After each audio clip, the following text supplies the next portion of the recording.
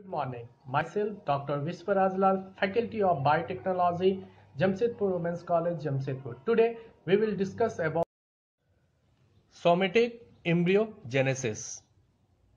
So, today we will talk about somatic embryogenesis. In angiosperms, ovules are developed within the ovary. Within the ovule, a sac-like structure known as embryo sac lies embedded into the nucellus. The embryo sac represents the female gametophyte of angiosperms. The ovule contains a haploid egg cells or ovum which is the female reproductive cell or female gamete. During fertilizations, the male gamete fuses with the egg cell or female gamete resulting in the formation of an unicellular zygote or oospore. The zygote gives rise to a multicellular embryo, cells of which are diploid. Embryos derived in this sexual process are known as zygotic embryos and the process of embryo development is called embryogenesis. In modern genetic terms, this means that the nucleus of every living somatic cell contains all the genetic informations necessary to direct the development of the entire plants. J. Reinert, a German botanist, in 1959 he found organized small bipolar structures bearing cotyledons and otherwise resembling zygotic embryos developing from callus culture derived from carrot storage root tissues. This phenomena is now called in vitro somatic embryogenesis. Embryos derived in this way are termed embryoids. So definitions somatic embryogenesis in plant tissue culture the developmental pathway of numerous well organized small embryos resembling the zygotic embryos from the embryogenic potential somatic plant cell of the callus tissues or cells of suspension culture is known as somatic embryogenesis. And then what is embryogenic potentials? The capability of the somatic plant cell of a culture to produce embryo is known as embryonic genic potentials. Next, what is embryo? Embryo is a small, well-organized structure comparable to the sexual embryo which is produced in the tissue culture of dividing embryogenic potential somatic cells. Next, we come to our historical background. J. Reinert, 1958 to 59, reported his first observations of in vitro somatic embryogenesis in Daucus carota.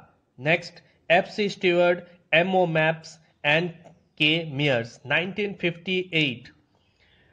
They also reported the somatic embryogenesis in carrot from freely suspended cells and emphasized the importance of coconut milk for in vitro somatic embryogenesis. Next, N.S. Rangaswamy 1961 studied in details the somatic embryogenesis in citrus species. Next, P.B.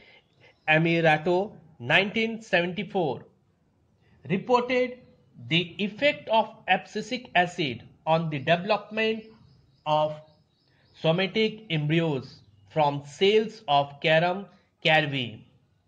Next, we come to a principle of somatic embryogenesis. Somatic embryogenesis may be initiated in two different ways. First, in direct embryogenesis and second is in indirect embryogenesis. In some cultures, somatic embryogenesis occurs direct in absence of any callus productions from pro-embryogenic determined cells. that are already programmed for embryo differentiations. For instance, somatic embryos has been developed directly from leaf mesophyll cells of orchard grass without an intervening callus tissues. Next, the second type of somatic embryo development needs some prior callus formations and embryos originate from induced embryogenic cells within the callus tissues. Next we come to our protocol.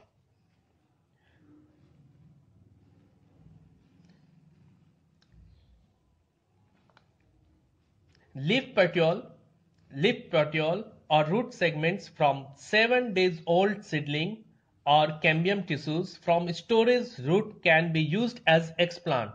Leaf petiole and leaf uh, root segment can be obtained from aseptically grown seedling. Cambium tissues can be obtained from surface slice storage tap roots. Following aseptic techniques, explants are placed individually on a semi-solid Murashige and Skoog medium containing 0.1 mg G per liter, 2,4-D and 2% sucrose. Cultures are incubated in the dark. In this medium, the explant will produce sufficient callus tissues. After 4 weeks of callus growth, cell suspension culture is to be initiated by transferring 0.2 gram of callus tissue to a 250 ml of flask containing 20 to 25 ml of liquid medium of the same composition as used for callus growth. Flasks are placed on a horizontal gyratory shaker with 125 to 160 rpm at 25 degree centigrade. Cell suspension or subculture every 4 weeks by transferring 5 ml to 65 ml of fresh liquid medium. To induce a more uniform embryo population, cell suspension is passed through a series of stainless steel mesh sieves. For carrot, the 74 micron sieve produce a fairly dense suspense of single cell and small multiple clumps. After 3 to 4 weeks, the culture would contain numerous embryos in different stages of development. Somatic embryos can be placed on agar medium devoid of 2,4-D for plantlet development. Plantlets are finally transferred to jiffy pots or vermiculite for subsequent development. So this is all about somatic embryogenesis. Thank you.